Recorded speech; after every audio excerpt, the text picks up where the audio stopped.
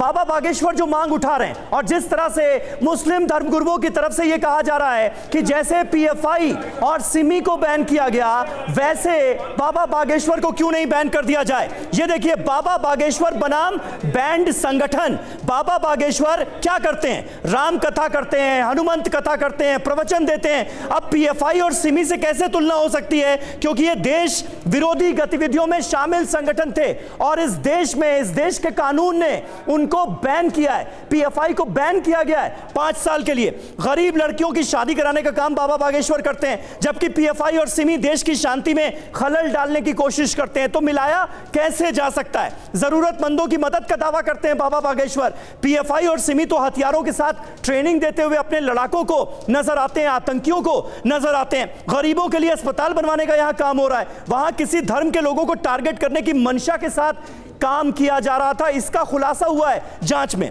सामाजिक कामों में भागीदारी यहाँ पर नज़र आती है, जबकि विदेशों से अवैध रूप से चंदा मिला पीएफआई और सिमी जैसे संगठनों को, आतंकी संगठनों को, उसके बाद उन्हें बैन किया गया। ये अपने आप में बड़ा सवाल है, लेकिन जमीयत उलेमा हिंद के हसन मदनी का कहना है कि अगर हिंदू राष्ट्र की मांग करने वालों पर कार्रवाई नहीं होती तो मुस्लिम राष्ट्र की मांग करने वाले गद्दार कैसे हो गए?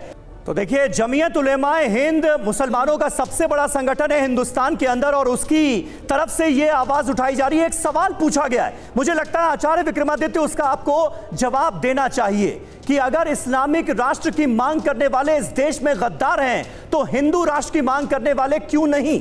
पहले उससे पहले आपको सबसे पहले इस प्रश्न को समझने से पहले पहले, पहले प्रश्न को समझ लें और हिंदू शब्द की व्याख्या समझ लें। हिंदू शब्द का मतलब केवल सनातनी नहीं है। आज जो सो कॉल्ड आज की तारीख में इंटरप्रिटेशन है अनादिकाल से जो इंटरप्रिटेशन चली है पहले उसको हमें समझना पड़ेगा।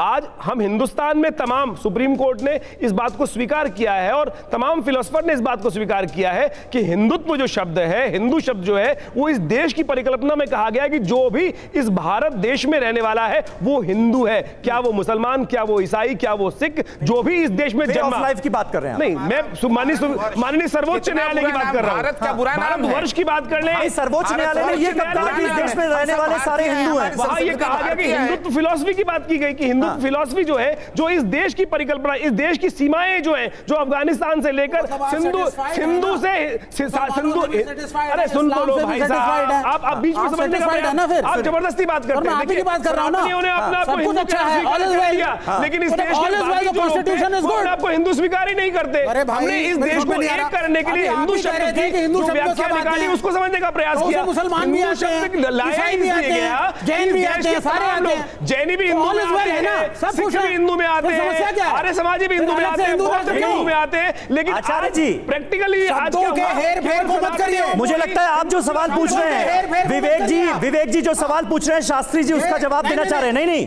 आपने जो सवाल पूछा है बिल्कुल एक वाजिब सवाल है। आचार्य विक्रमादित्य बात कर रहे हैं हिंदू राष्ट्र की। उनके हिसाब से हिंदू सभी हैं। भारत में रहने वाले सभी हिंदू हैं। तो फिर दिक्कत क्या है? शास्त्री जी। मैं निवेदन करूँगा सभी से। आपने ध्यान दिया होगा मैं और सरवर जी बिल्कुल शांत बैठे हैं। अगर कोई बीच में बोलेगा मैं मौन हो जाऊँगा। क्योंकि मैं चाहता हूँ कि डिबेट सार्थक हो। भारत में रहने वाला प्रत्येक व्यक्ति हमारे हिसाब से नहीं सुप्रीम कोर्ट के अनुसार हिंदू है। क्योंकि हिंदू जीवन जीने की एक शैली है। गुरु जी श्री गोलवलकर जी कहते हैं कि अगर जिस दिन हिंदुत्व से अगर भारत हिंदू राष्ट्र बनता है और उसमें इस्लामी लोगों के लिए क्रिश्चियंस के लिए अगर कोई जगह नहीं है तो ऐसे हिंदू राष्ट्र का कोई औचित्य नहीं होगा। इस्लामी भी रहें क्रिश्चियंस भी रहें सभी धर्मों को मानने वाले लोग रहें लेकिन हिंदू संस्कृति का पालन अवश्य करें। नहीं तो यानी आपके हिसाब से मुस्लिम सिख ईसाई सब हिंदू हैं। भारत वर्ष में जो रह रहा है वो सब हिंदू निश्चित रूप से सुप्रीम कोर्ट कह रहा है। हाँ सुप्रीम कोर्ट ने नहीं कहा सुप्रीम कह रहा है, सुप्रीम कोर्ट ने नहीं सुप्रीम कोर्ट ने रहा हिंदुत्व को वे ऑफ़ लाइफ बताया। समीर साहब अरब में जाएँगे ना? अरब के अंदर वहाँ के तमाम लोग हिंदुस्तानी जो भी जाते हैं उनको हिंदी कहा जाता है। हिंदी कहा जाता है। हिंदी कहते हैं। हिंदुस्तानी कहा जाता है भारतीय कहा जाता है।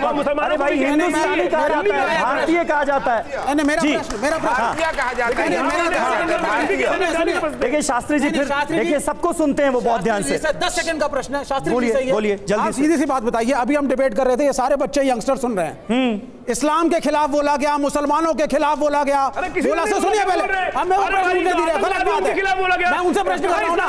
मैं शास्त्री से प्रश्न कर रहा हूँ। आप मुझे बताइए सवाल शास्त्री से है ना। बैठे हुए तमाम लोगों ने किसी ने नहीं बोला इस्लाम के। खिलाफ। सही है, गलत बोल रहे हैं आप। ज़बरदस्ती अच्छा। हिंदुओं ने कभी भी इस्लाम के खिलाफ नहीं। बोला हिंदुओं ने उन हैं, कट्टरवादियों के खिलाफ क्या बोला, जो हिंदुओं को कत्ल करने की बात करते हैं जो है हिंदुस्तान में। अशांत करने का बात करते हैं जो की है। हत्या करने की बात करते हैं हाँ, मेरा प्रश्न सुन लीजिए शास्त्री जी आपके लिए।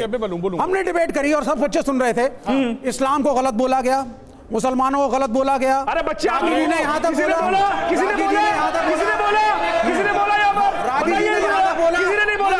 यहाँ बैठे हुए आवाज़ जो है जनता हिंदुस्तान की आवाज़ है। आप मुझे बताइए किसी ने मुसलमानों को गाली दी किसी ने मुसलमानों को गाली दी। जिन्होंने खुद अपने आप को मुसलमानों में बात दंगे होते हैं। गलत बोल रहे हैं बैठ के। नहीं, नहीं, बस ठीक है अब जवाब शास्त्री जी।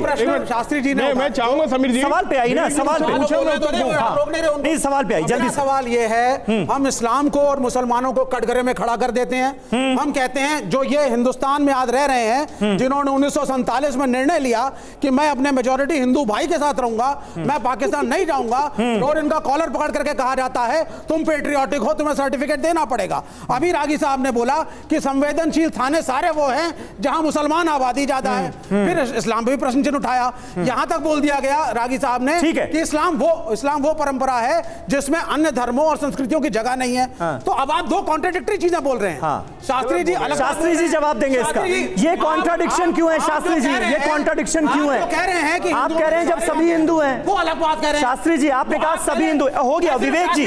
अरे भाई विवेक जी हो गया। सवाल इतना लंबा थोड़ी होगा। मुसलमानों को अपना मानते हैं या नहीं? जी शास्त्री जी। आपका प्रश्न अगर हो गया हो आपका प्रश्न अगर हो गया हो तो मैं उत्तर देता हूँ। हाँ। निश्चित रूप से मैं भारत से प्रेम करने वाले मातृभूमि से प्रेम करने वाले प्रत्येक व्यक्ति को ऐसा व्यक्ति मुस्लिम हो ईसाई हो उनको मैं अपना मानता हूँ अपना भाई मानता हूँ और उनको हिंदू जीवन जीने शैली वाला हिंदू मानता हूँ। मैं उनको हिंदू राष्ट्र वाला हिंदू मानता हूँ। हिंदू राज्य वाले हिंदू की बात नहीं हो रही है स्टेट वाले हिंदू की बात नहीं हो रही है। लेकिन हिंदू राष्ट्र वह है जहाँ प्रत्येक व्यक्ति समानता के अधिकार से रहे लेकिन पारस की तरह फारस की तरह नहीं होना चाहिए कि हमारे मंदिरों को तोड़ दिया जाए द केरला स्टोरी की तरह नहीं होना चाहिए और द कश्मीर फाइल्स की तरह भी नहीं होना चाहिए। ठीक है हाफिज गुलाम सरवर साहब देखिए ये तालियाँ बजा बता रही हैं कि ये देश सेकुलर है। जब प्यार मोहब्बत की बात होती है लोगों को जोड़ने की बात होती है तो तालियाँ बजती हैं और लोगों को लगता है कि हाँ ये हमारा मुल्क है ये अजीमोशान भारतवर्ष है।